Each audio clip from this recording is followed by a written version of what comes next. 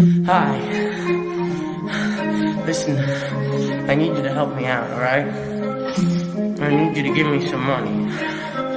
Okay?